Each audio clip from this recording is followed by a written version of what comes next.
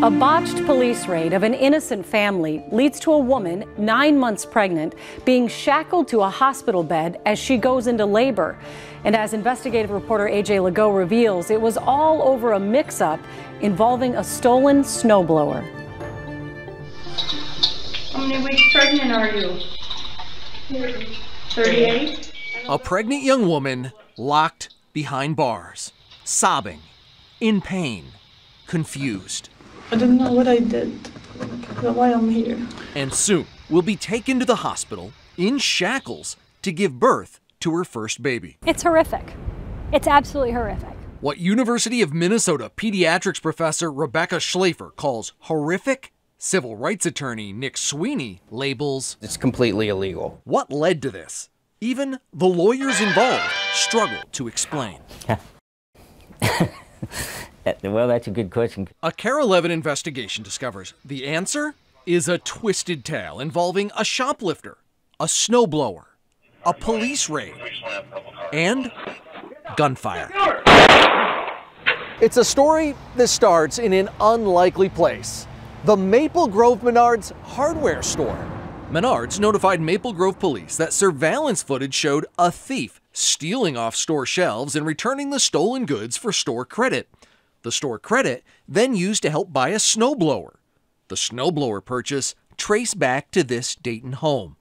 Armed with a search warrant, Maple Grove and Dayton police surround the house, one wearing a body mic, but no cameras. Please, search warrant, open the door, please. Please, search warrant, open the door. Inside, Ferris Hussein and wife Sarah, who've asked we not show their faces. Sarah cooking dinner, Ferris wearing headphones playing computer video games. Open the door. Open the door before I boot it. Just 27 seconds after first knocking, officers kick in the door. Please, search warrant. You all right, Matt? Oh, I got, got. Get down. Get over. Later, at the Hennepin County Jail, both Sarah and Ferris gave recorded statements. I was playing games, and then I heard like a smash on the door. Now, wasn't even wasn't even enough. Like a smash, boom, boom, boom. We were so scary. My husband uh, started to shouting and tell me call the 911, call the 911. I grabbed the gun, and I look. I look. There's a from the window. I see a guy in civilian clothes. Looks very angry. Ferris says the only person he saw through the blinds was this guy, Maple Grove detective James Kirky in plain clothes, no police markings. The raid team parked down the street, so there were no police cars in sight. Basically, I had not even 0.01% suspicion that he is a police officer.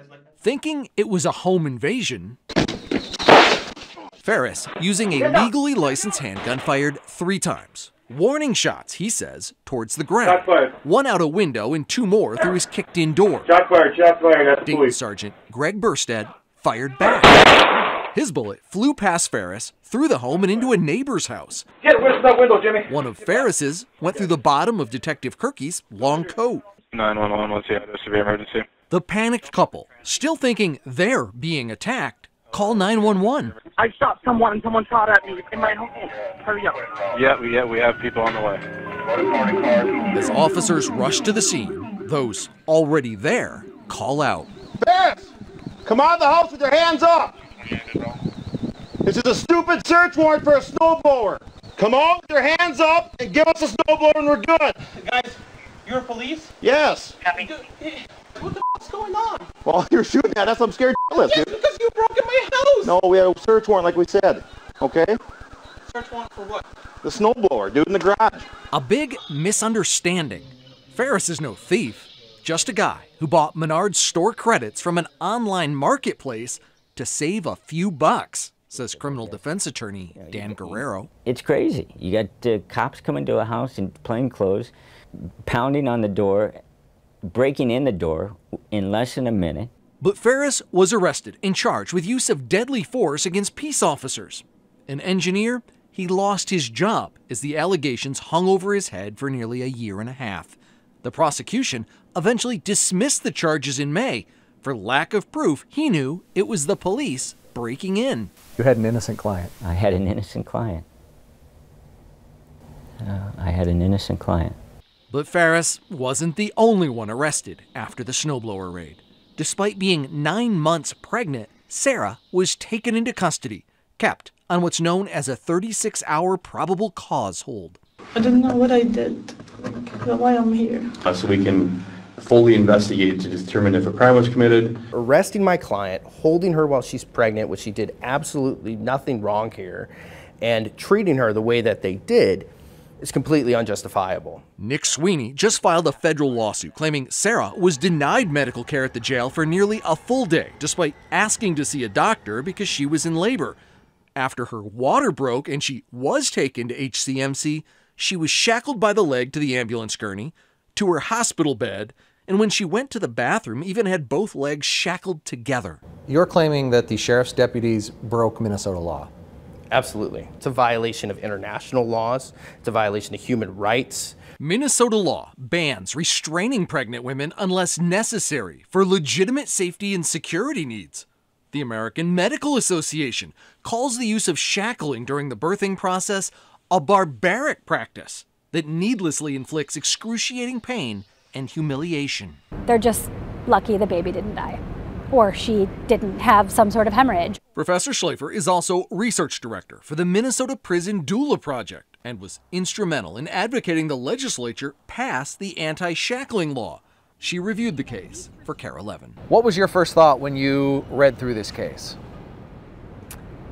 My first thought was this is a very clear case in which the law has been violated at, at every turn. In the middle of active labor, Sarah's 36 hour hold was up. The lawsuit says deputies unshackled her and just walked out of the delivery room, leaving her there alone to have her baby. She was never charged with a single crime. Hennepin County Sheriff David Hutchinson refuses to discuss the case, citing the pending litigation, but sent a statement saying they take the allegations seriously and are investigating them. Maple Grove Police Department also declined comment. Wow. It leaves you speechless. I mean, in the middle of the story, I said you feel like there has to be something more. Yeah, This cannot more all be than a over a snowblower in the snowblower. garage. Even if they did steal it. There's nothing else there. The story does keep going on, though. They tried to deport Sarah hmm. after this, claiming she had been charged with firing at the police when in fact she was just arrested on a 36 hour hold and never charged. But the family went through hell trying to get that squared away so that Sarah wasn't kicked out of the country because of this.